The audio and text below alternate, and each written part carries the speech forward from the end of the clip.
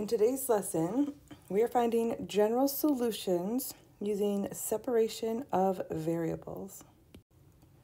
And what that basically means is if you start with a differential equation, dy over dx equals 5x squared over 6y squared. Essentially what we're doing is we're going to do an antiderivative of implicit equations.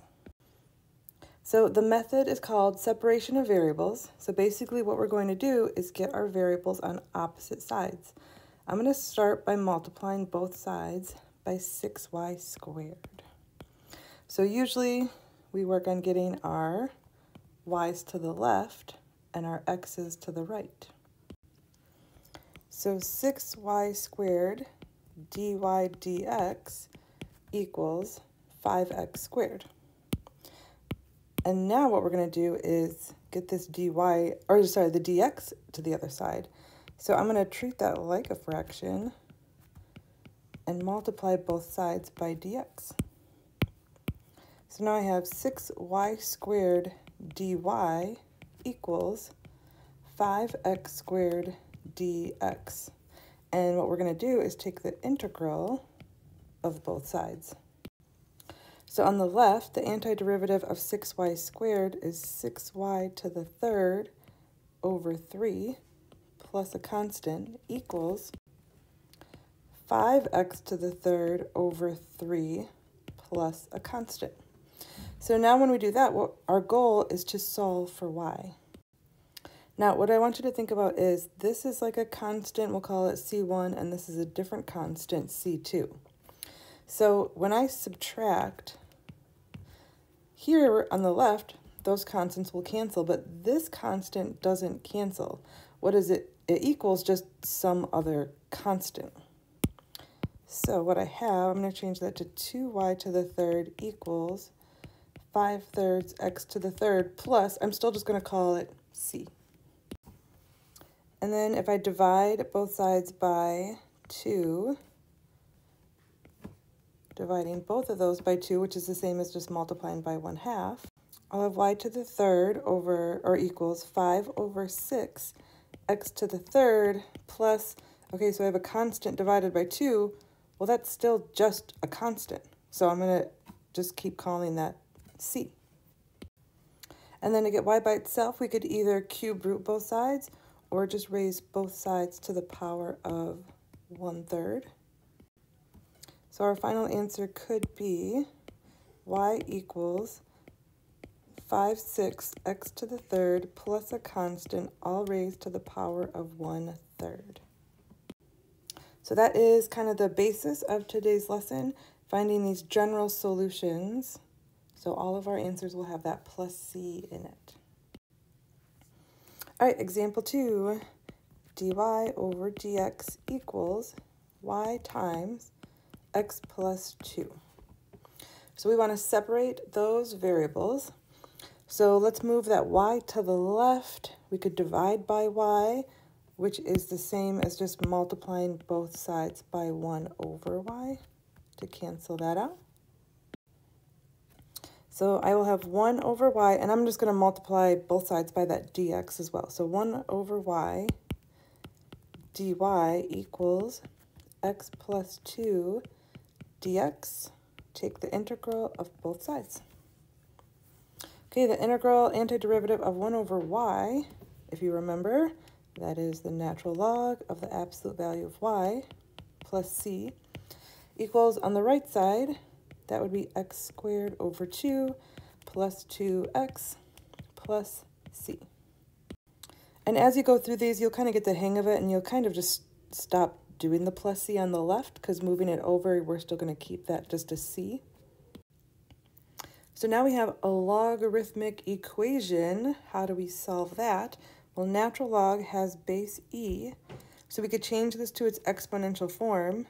e to the power of all of this equals y.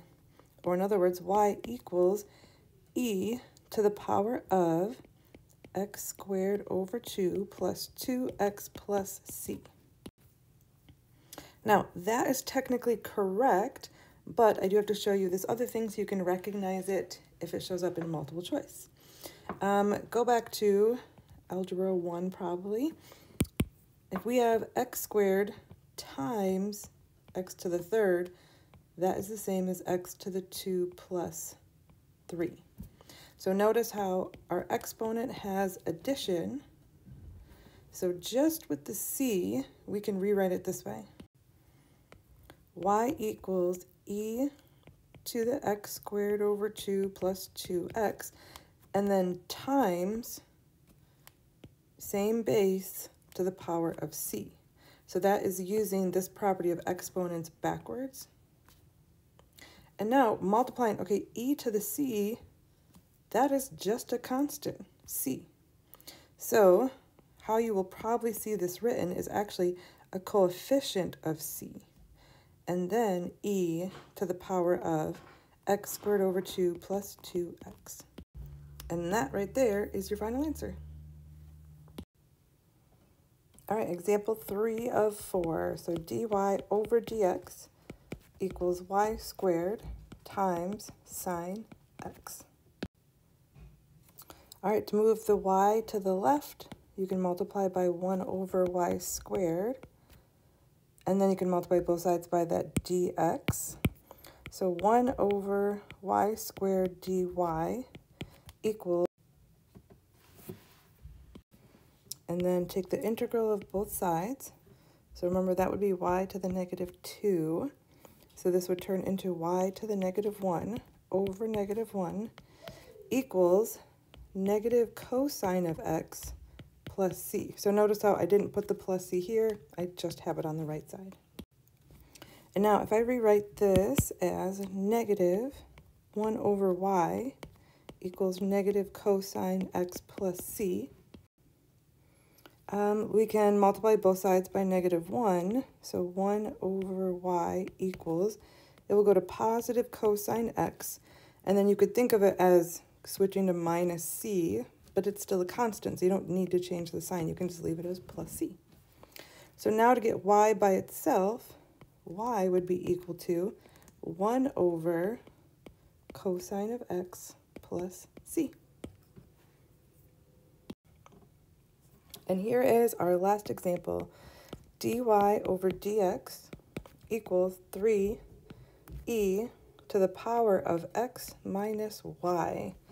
So how in the world do I separate when they're both in the exponent? Well, if you go back to those properties of exponents again, if you remember, if you had, let's say, x to the 10th over x to the third, that is the same thing as x to the 10 minus 3. So if you work that backwards for our problem, we'll have dy over dx equals 3 e to the x over e to the y. And now we can multiply both sides by e to the y. And multiply both sides by the dx, so e to the y dy equals 3 e to the x dx. Take the integral of both sides. Antiderivative of e to the y is just e to the y equals, and then antiderivative e to the x, well 3 e to the x, and then there's my plus c. How do we solve for y when you have an exponential equation?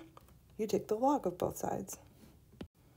So in this case, we could take the natural log of both sides because that will cancel this out and leave you with your y. So y equals the natural log of 3e to the x plus c. And that is your final answer. So there's your full video on finding general solutions using separation of variables. Good luck with the lesson.